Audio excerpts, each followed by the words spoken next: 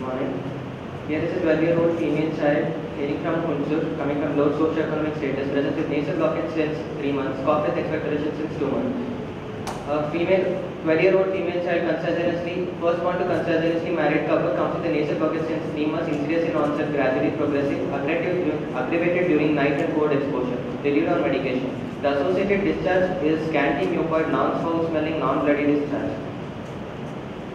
The cough with expectoration 2 months is intermittent in nature, aggravated on supine and cold exposure, reduced on medication. The associated sputum is white colored, lukewarm in consistency, moderate, non-foul smelling, non blood tinged.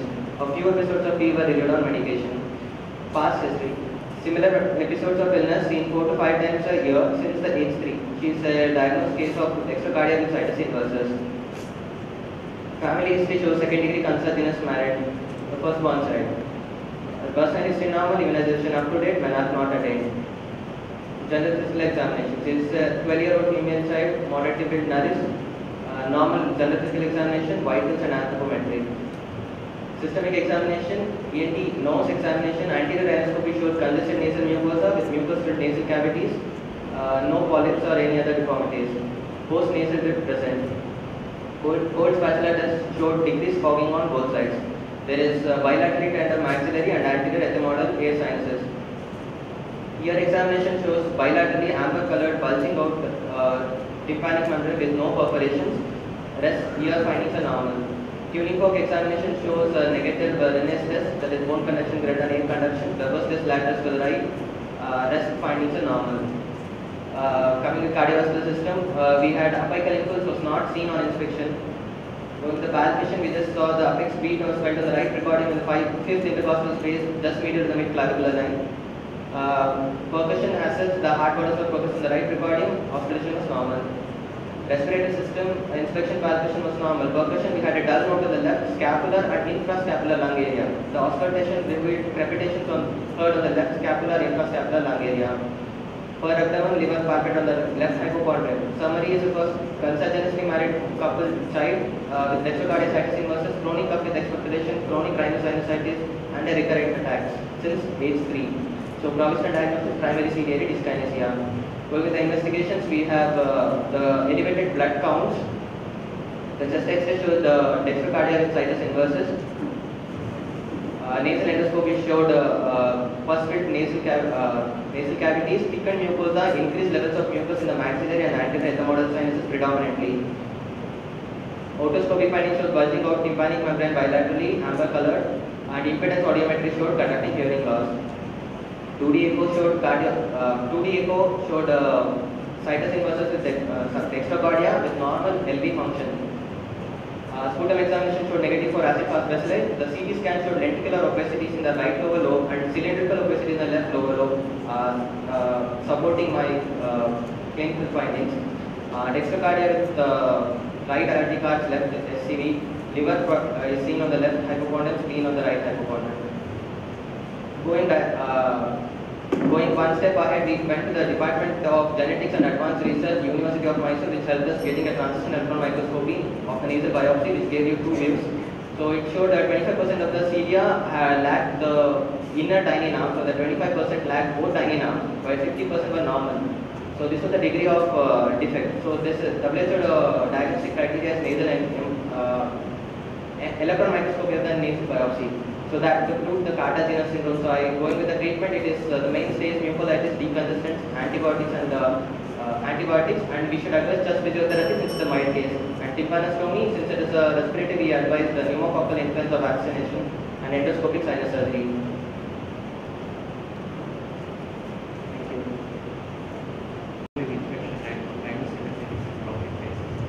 Then physiotherapy is advised for the draining of the vessels effect in the cilia. So such physiotherapy like percussion and oscillators, postural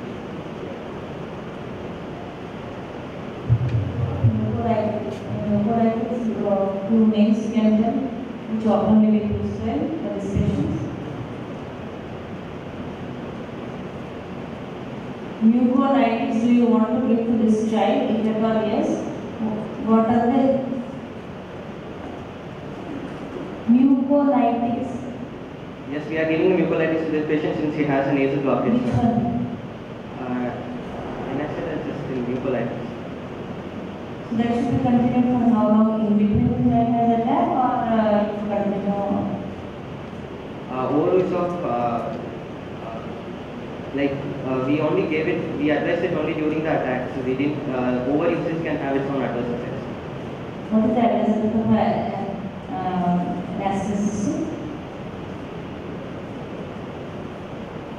vascular system? Side effect what? It can have uh, like atrophic changes. Side effect of mucolytics, anybody? Hmm?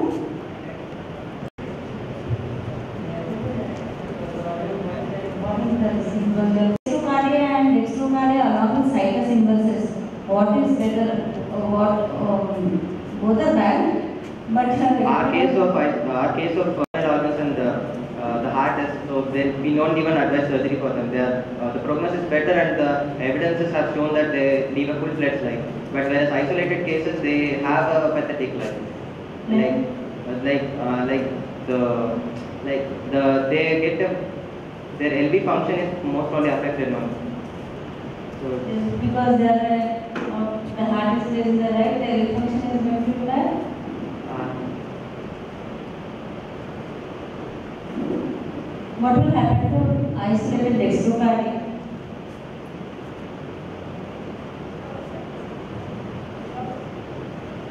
You got my patient if you have isolated dextrocardia and dextrocardia with situs inversus as you are having in the com- completely shift. So what is better and uh, why isolated In isolated cases, the vasculature doesn't match with the organ's orientation, so there is a perfusion defect as well. So, but here there is no perfusion defect as such. So, isolated case is more uh, hazard, dangerous than. Is there any role of inhaled antibiotics method, which is the immotile, immotile CS drugs?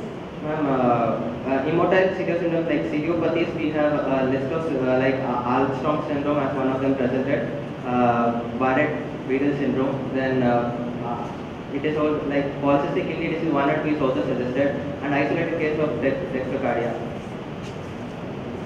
What happens in cystic fibrosis? Uh, cystic fibrosis, uh, uh, when we went with the ciliopathy classification, cystic fibrosis was suggested as a probable but not a definitive uh, ciliopathy. So it is a, could be a probable but not we don't have a definitive uh, thing. But it's a chloride channel defect. It also is the same, almost the same. We can take as a differential diagnosis. Except or so many electromagnetic.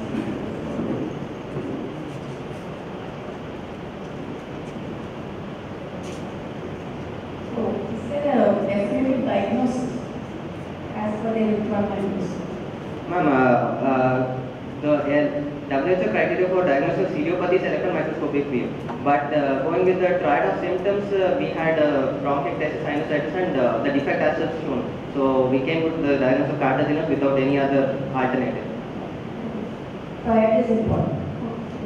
Thank you.